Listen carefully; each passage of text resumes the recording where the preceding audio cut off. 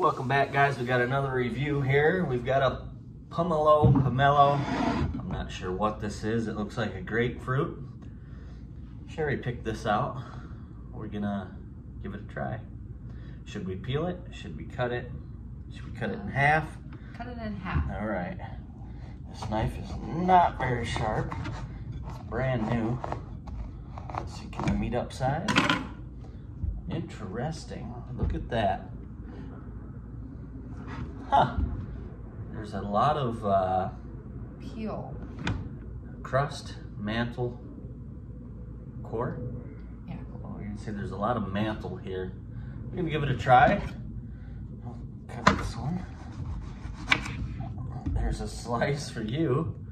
A slice for me. Boy, there is not much there. Look at all that white stuff. Yeah. I wonder if that's edible. Should we go in for it? Smells like grapefruit. Yeah. Let's.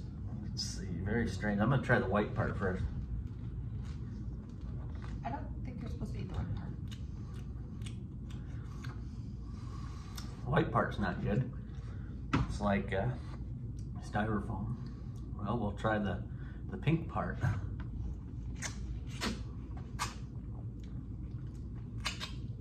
It tastes like a grapefruit. Mm, it's sweet.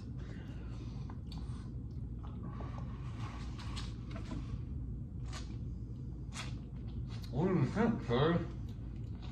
I think it tastes like a grapefruit. Kinda.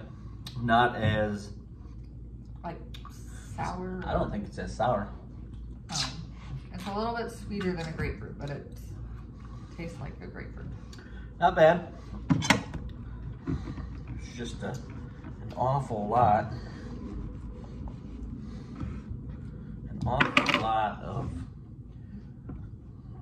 not not edible part. I'm sure you could eat it, but I mean, what's that look like? That look like a pad? I think so. It's not bad. I probably wouldn't buy it again. I mean, Yeah, no. there's not much there unless this was just a, a weird one. I'll fillet it out here. There's a weird, I mean, it's like an orange mixed with a grapefruit. If there was more edible part, I'd buy it again. Yeah. This would be good dipped in sugar. Well, what do you give it? Give it on a scale of one to ten. A two. A Two. I'm gonna go three, maybe three point five. But there you go, guys. That is a review of pomelo or pomelo. Not sure how to say it. Thanks for watching. Bye.